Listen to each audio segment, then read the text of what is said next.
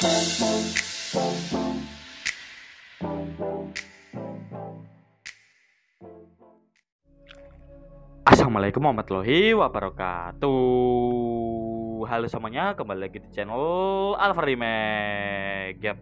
Oke nih teman-teman, jadi kesempatan kali ini saya ingin bikin tutorial bagaimana caranya untuk memunculkan Atau menampilkan kecepatan jaringan wifi ataupun data seluler di HP Vivo teman-teman ya Nah di sini sebenarnya langsung aja bisa kita aktifkan Tapi di sini saya akan mulai dari awal teman-teman ya Nah, langkah pertama yang harus kalian lakukan adalah kalian tinggal masuk aja di sini ke pengaturan dari HP kalian. Nah, kalian masuk di sini kalau saya menggunakan HP Vivo, teman-teman ya. Jadi kalau kalian yang HP-nya juga Vivo, kalian bisa sesuaikan sendiri dengan HP saya ini. Oke, entah itu di bagian uh, ikonnya atau di nama menunya, teman-teman ya.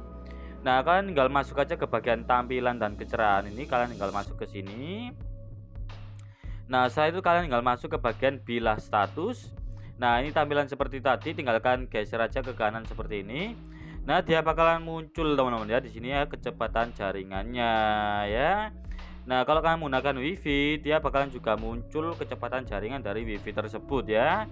Nah, jadi caranya itu cukup simple menurut saya. Kalian bisa ikutin aja step by stepnya.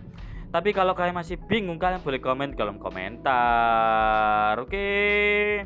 Oke teman-teman gitu aja tutorial kali ini Semoga tutorial kali ini bermanfaat Dan seperti biasa nih teman-teman teman-teman ya Jangan lupa like, comment, dan subscribe Bye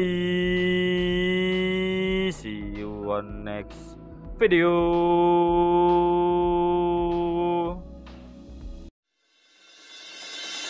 Bye.